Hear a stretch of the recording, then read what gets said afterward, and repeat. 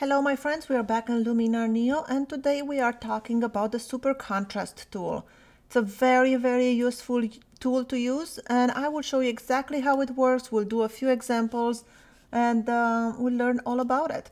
To find your super contrast, you'll go to edit and then in the toolbar you will find it under the professional tools a lot of people get intimidated when they see professional. They will think like, oh, that must be complicated. I don't know how to use it, so I'm not going to use it. But I'm here to tell you this is just normal tools. It's really easy to use and I will explain you how they work. When you open the tool, you'll be you will find that you have six sliders. Uh, three of them will be the amount basically for the highlights, midtones, and shadows. So what it does is splits the image into three luminosity mask, if you will, and you can work strictly on the highlights, strictly on the midtones, or strictly on the shadows. The second uh, set of sliders, it's the balance, and those, as you can see, they're gray out when your highlights contrast, it's a zero, or shadows contrast, or, you know, midtone contrast. So you have to add some amount before the balance becomes available for you to move around. Now I am going to explain you how these sliders work and what do they do and then we'll take a few examples. To be able to explain you a little bit better, I created this um, gradient and I will go into the super contrast. And let's see, I put these pink lines over here to see that on the left side over here we have our shadows. In the middle we have our midtones and on the right side we have our highlights. Let's see how these um, tones are getting affected by our super contrast. I will increase the highlight contrast all the way to 100. We'll go 100% effect. And with 100% effect, now we can see when I move the balance, if I move it to the right, just as you can see on this uh, gradient, we have the shadows on the left and the highlights into the right. When I move this highlight balance to the right, I'm moving shadows into the highlights area. So you see these whites over here are getting darker. And if, if I move it to the left, I'm bringing the highlights into the shadows. So I'm switch, uh, swapping the balance. And now I'm getting more highlights into the shadows within this rectangle over here into my highlights. Again, if I move it into the right, I'm bringing the shadows into the highlights and to the left, I'm bringing the highlights into the shadows. So the balance is being shifted between darks and lights and this only affects this highlights area. This is for every tool in Luminar Neo. If you double click on the name, it will reset the tool. Let's move into midtones. I'll put it at 100% and you see it creates some contrast. It's at midtones, it's in uh, balance, is in the middle. As I move it to the left, I'm bringing more highlights into the shadows. As I move it to the right, I'm bringing more shadows into the highlights and I'm darkening things. You see that? Right and left, right and left. So that's what the midtones balance does. It brings more of these highlights into the shadows or the shadows into the highlights. I'm gonna double click on it to reset it and let's see the shadows now. I'm gonna put it to 100%. The same thing as I move the shadows from left to right, I'm bringing more of that darks into the highlights portion of the shadows. And the same thing if I move from the right to the left, I'm bringing more highlights from the shadows into the very blacks. So now that we see how these sliders work, let's take some examples and work on real life. I am going to start with, uh, well, let's talk a little bit before why is this better than just using the um, develop highlights and shadows. Well, when we work with highlights and shadows, we only have two sections. So imagine there's a line right here in the middle. So we have the highlights from 50% gray to the white, pure whites. And then we have the shadows from 50% grays all the way to the pure black. So we get less control because now with two sliders with highlights and shadows, we can only affect either half the right side of this image or the left side of this image using the shadows. So by using the super contrast, we have three individuals uh, cells, three individual way of adjusting the contrast, the lights and the darks. So let's see how that translates in real life. Well, let's start with this image and with this image I will go to the super contrast And if I add highlights contrast, you see that I am just affecting the very lights of the image. As I bring the highlights balance to the right, I am darkening the whites. Or if I bring it to the left, I am brightening the whites, make them, you know, blow out. So, and for this case, I do not want to, I would not use the highlights because I like the highlights the way they are, but I would adjust the midtones and darken them. So I would go to like 100% and then just move it to the right to darken the highlights and that will give us some nice contrast. This is the before, this is the after, this is the before, this is the after. Let's take a different example. A great way to use uh, super contrast is to bring down uh, highlights into the sky.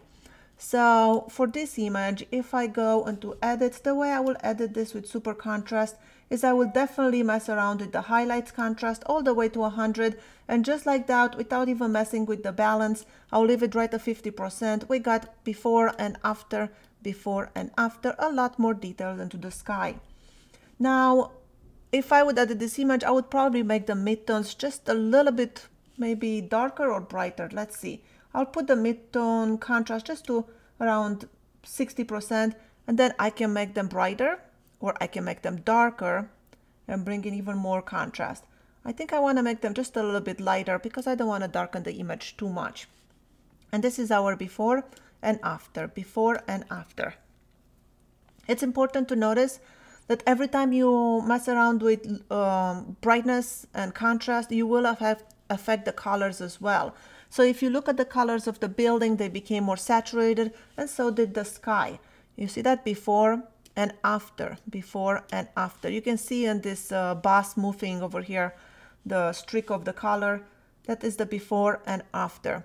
For me, when I edit sky, I do not like to have the sky so blue. So if I would edit this, I would go to color and then I will go into the saturation of the HSL and just take down and cyans a little bit down and the saturation something something like that not too much, then we're losing that contrast. But something like that. So let's see. This is our before and after. Before and after. Let's take a different example. And this time I will work with this image. This, as you can see, it's completely blown out in the sky, so we really have no information there but we can might be able to bring some information up into these highlights of the little bus. So if we go to super contrast and put the highlights contrast to 100%, you can see that immediately transformed the image, even brought a little bit of details into the sky. So this is our before and this is the after, before and after, and that only took one slider. We can even darken the midtones a little bit. If I increase the midtones to 100%, maybe that's too much, maybe just around 50, and shift the balance a little bit to the right to darken it a little bit. And now we definitely have a lot more contrast. This is our before, this is the after, before and after. Let's take a couple of more examples. I will take this image. It's pretty low contrast image, so I think we can bring some details into the castle and the sky. If we go to the super contrast and increase the highlights contrast, that well, I don't really like what that did. It kind of just made everything washed up, almost gray. So in um, this case, I want to move the highlights to the left because I want to brighten those highlights. And that kind of brought it back. This is the before and after, before and after. It almost gave you like an HDR effect. And then we can work maybe with the midtones. Maybe we'll go on 50% of this and make them darker and that creates even more contrast. And then if we want, we can go into the shadows and make the shadows a lot darker to get almost pure black, something like, well, that's too much, something like that. And this is our image before and after, before and after, everything just kind of pops, looks a little bit more 3D. Let's see a different example. What can we do?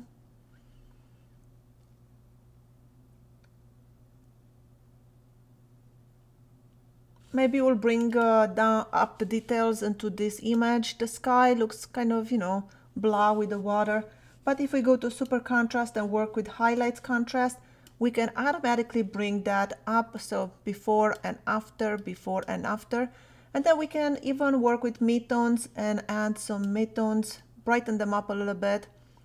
And as you can see, that did affect our color a lot. Look at the hand now, it's way too red. It's almost glowing. This is the before, this is the after, this is the before and after. And the way I would fix that is go back to color, onto the saturation and take the reds down a little bit to make them look more natural. Something like that. And let's see, this is our image before and after, before and after. And that looks a lot better. Do we have one more example? Let's see, maybe we'll work with the sky and here. So we want to bring up some details into the sky. This is a pretty grainy image. And then maybe add some into the shadows, some contrast, so we can get a little bit more contrast, make this image pop. So I'll go highlights contrast all the way to the right, and then the shadow contrast, and make them darker, something like that, and we brought more drama into the image. This is our before and after, before and after. By the way, all these images, I got them from Unsplash. If you've never heard the Unsplash, it's a stock website where you can get free stock images. I use Unsplash and Pexels a lot. I have a whole video about Pexels and how to load it into your Photoshop, use it as a plugin. Let's do this. This will be our last image. We'll go to super contrast and we'll bring down the highlights, maybe even darken them a little bit, something like that. And then we'll go to midtones, we'll add some contrast into the midtones, we'll darken those a little bit too. And then maybe even the shadows, we'll darken those further. And now this is our before and after, before and after. The blues are definitely way too saturated, so I will go to my saturations and bring down the blue. And I like that a lot better. Let's see, this is our before and after, before and after. So we edited all these images just using one adjustment and that is super contrast. Very important adjustment, very easy to use and it yields great results. Let's do one more image since we're here. I have this image over here. We'll go to edit. I do like this kind of faded look on this image. I think it's great as it is.